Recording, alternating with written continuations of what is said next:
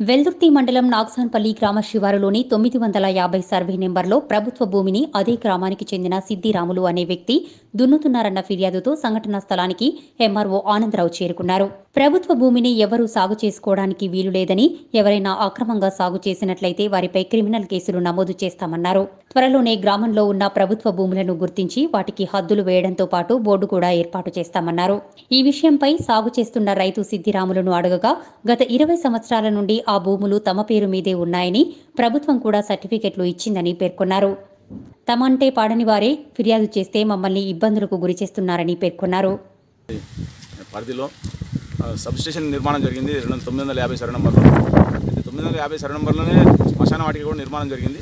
దాని పక్కకు ఆనుకొని సిద్ధరాములని నాగసన్పల్లి అతను ఈరోజు తింటున్నారని కంప్లైంట్ వచ్చింది. ఇక్కడ వచ్చి పరిశీలన చేయడం జరిగింది. అయితే అతనికి తొమ్మిది వందల యాభై ఒక సరే నంబర్లో అసైన్మెంట్ జరిగినట్టున్నది.